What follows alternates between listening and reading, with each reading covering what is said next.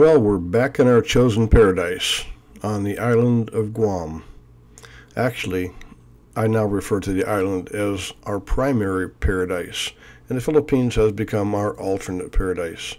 It just works out better that way for both of us, and for many reasons that I will delve into in another video. But today, we are taking a walk to Ypao Beach Park via the newly renovated road that leads to the beach. This is our first walk down the new and improved road since it reopened, and today there's an event happening at the park, and it's a big one. It's the 70th anniversary of the Filipino community of Guam celebration.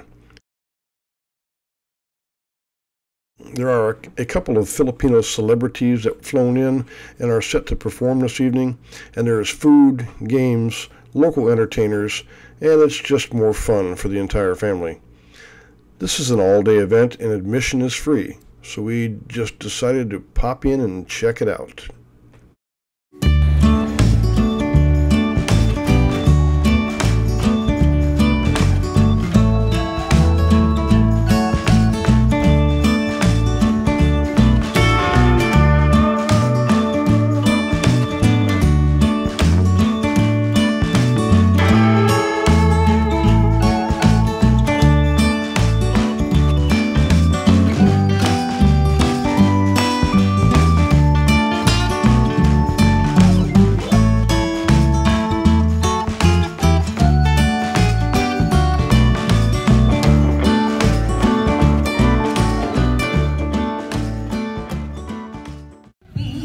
Di ka masisiil sa dagat at bundok Sa simoy at sa langit mo'y bughaw May dilag ang tula at awit sa paglayan minamahal.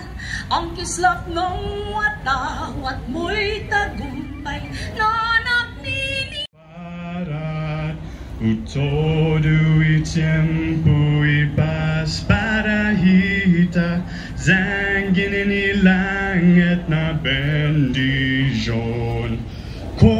Na peligro na fazafam Zeus protege his land Guam Because we didn't plan on attending this event, we had to modify our walk somewhat, taking in all the happenings here. Normally, when we plan on coming to an event like this, we would bring our wagon and our chairs, and we'd just camp out in the shade, relaxing with some good food and refreshments.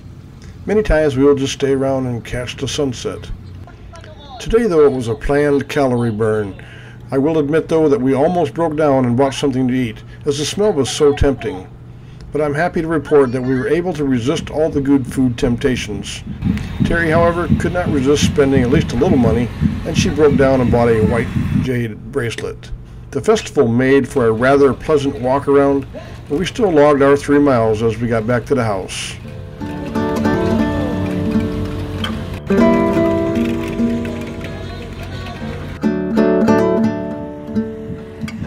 If there's one thing I can add, many of the attendees here were Filipino, with a few other local VIPs in attendance.